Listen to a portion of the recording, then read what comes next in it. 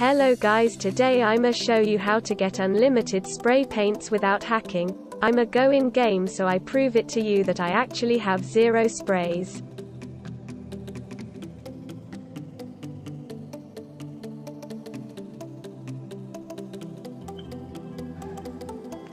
As you can see I have 5 spray paints and some boards.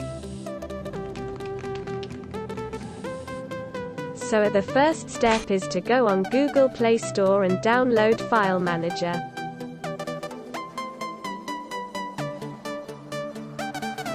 The first one. Next download it and click open.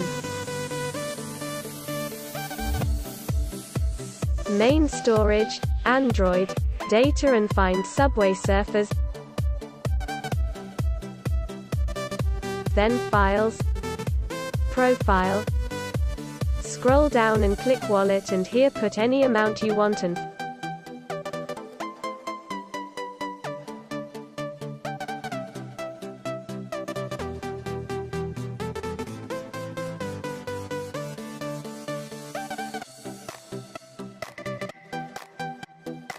Final step is to go in the game and enjoy some big cocks.